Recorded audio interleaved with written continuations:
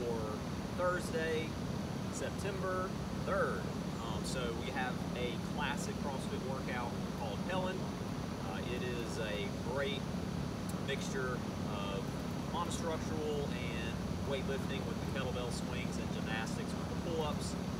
Uh, so just um, a real good uh, balance and a good test to uh, get a score in and then retest at a certain point to uh, you know see where your capacity's at. So the workout is three rounds per time, a 400 meter run, and then 21 kettlebell swings, and then 12 pull-ups.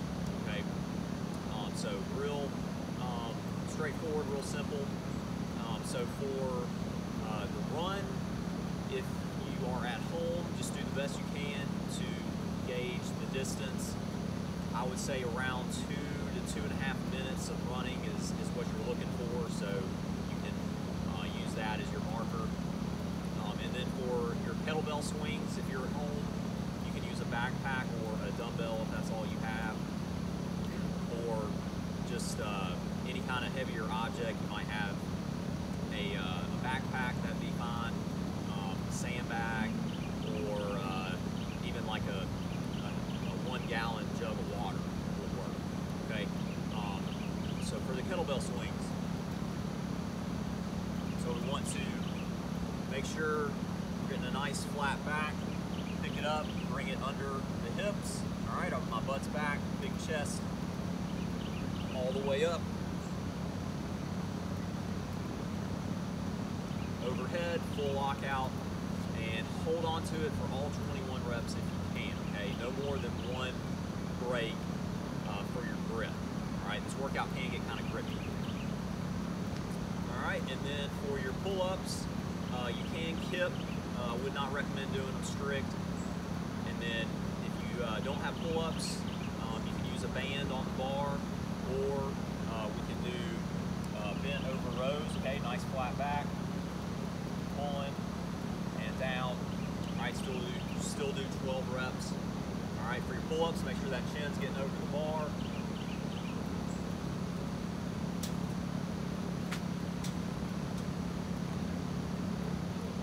All right, and then uh, if you are at the gym, you can do ring rows, okay, as well in place of your pull-ups,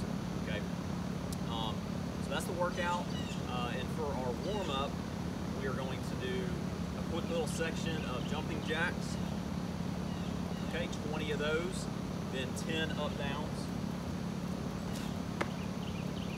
All right, 10 of those, and then you're going to do 10 alternating high skips.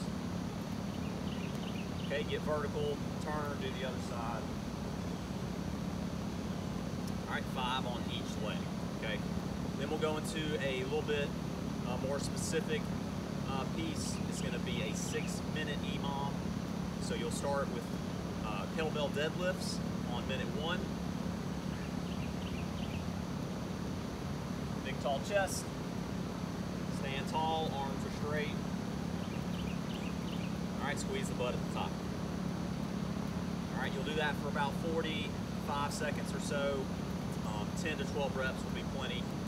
And then minute two, we're going to do uh, banded lat pull downs. So you'll have the band up here, pull down, back up, down, back up. Okay, arms stay straight, slight lean in the torso, butt is back, core is tight.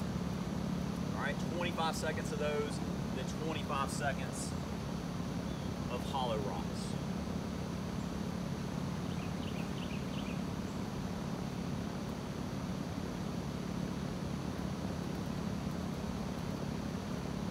Okay, rolling from the butt to the low back.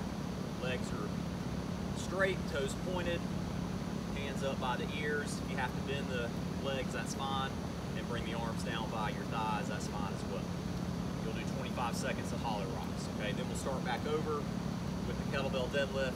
We're gonna run through that for three cycles. Okay. Uh, so once we're done, we'll uh, do ROMWOD in class. If you're at home, um, let's knock a pigeon stretch out.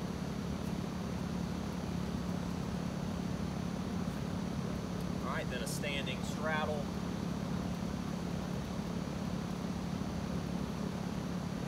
And then a child's pose with a shoulder variation.